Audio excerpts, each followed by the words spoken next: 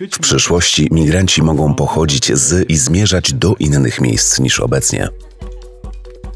Migration Matters. Hein de Haas. Jeśli Europa nie upora się z kryzysem migracyjnym, nastąpi wzrost populizmu.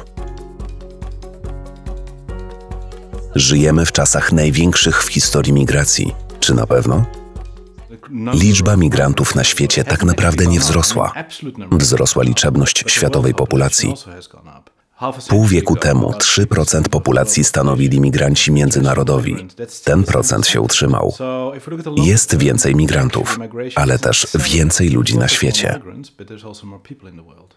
Wszystkie formy mobilności, takie jak podróże, dojazdy do pracy, podróże służbowe, turystyka, rozwinęły się ale poziom migracji, rozumianych jako zmiana miejsca zamieszkania, jest stały. Oczywiście, wraz ze wzrostem współzależności między społecznościami z całego świata, świadomość różnorodności będzie wzrastać, ale nie oznacza to wzrostu migracji.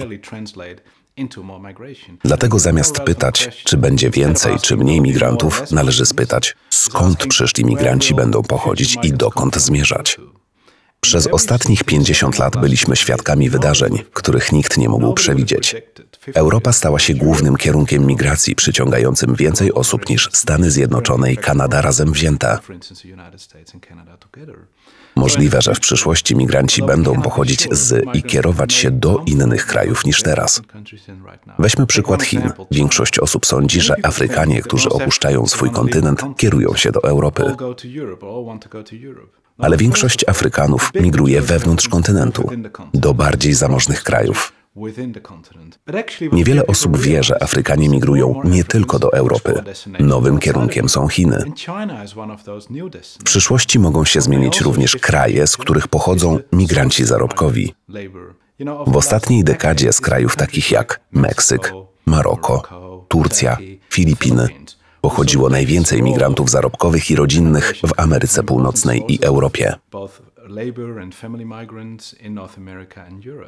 Te kraje też się rozwijają. Turcja, mimo kryzysu uchodźczego w Syrii, stała się destynacją dla migrantów, nie tylko zarobkowych. Natomiast liczba migrantów opuszczających Turcję zmniejszyła się. Jest prawie pewne, że w przyszłości charakter migracji będzie odmienny od obecnego. Niebezpieczeństwem jest europocentryczne podejście zakładające, że Europa pozostanie centrum świata i główną destynacją migracji. To samo dotyczy Ameryki Północnej.